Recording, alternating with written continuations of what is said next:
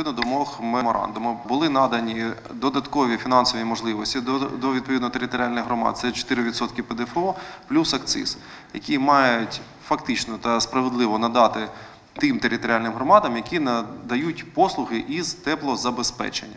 Ми маємо всі виконувати підписаний відповідний меморандум щодо непідвищення тарифів. Більшості населених пунктів області органами місцевого самоврядування прийняті рішення щодо застосування у опальному періоді 21-22 років для надання послуг з постачання теплоенергії населенню тарифів, які діяли на кінець минулого опалювального сезону. Я хочу перш за все подякувати тим територіальним громадам, про яких були зараз зазначено у доповіді, які ви- виконали вимогу е, меморандуму, який було підписано на Конгресі регіональних влад, і все ж таки не е, підвищили тарифи для населення, бо відповідно до вимог цього меморандуму вони мають залишатися на рівні 2020-2021 опалювального сезону. Щодо е, проходження опалювального сезону, вкрай чутливе питання. Я прошу тримати руку на пульсі.